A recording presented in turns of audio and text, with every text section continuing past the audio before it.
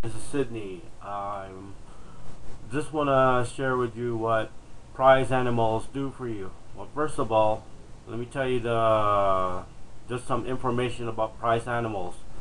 Well, for example, here we have a red goat. Okay, a red goat gives you one goat cheese when it becomes prize.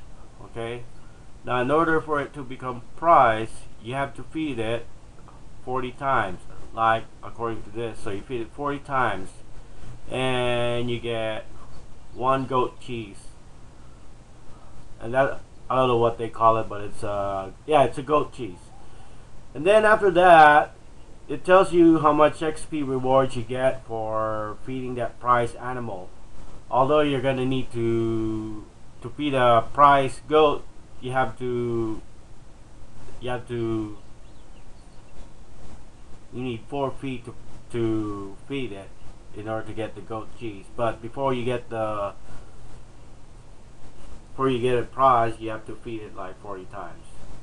Um, let me show you another goat here. The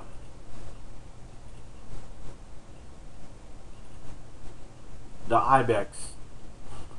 The ibex, when normally you get three cheese, five milk, and also two fertilizer and you and then that's on a consistent basis before it becomes prize once it becomes adult but when it becomes prize you get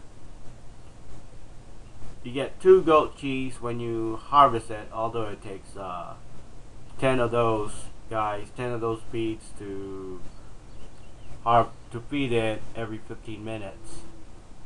And however when you become when it becomes a prize you have and harvested you get 110 XP and in order for an ibex to be prized it'll take you 100 feed, feedings. So anyway that's about it. Um, I'm just trying to share share with you how much uh, the information on these prize animals. Okay? So have, try it out. See how it goes. Alright signing out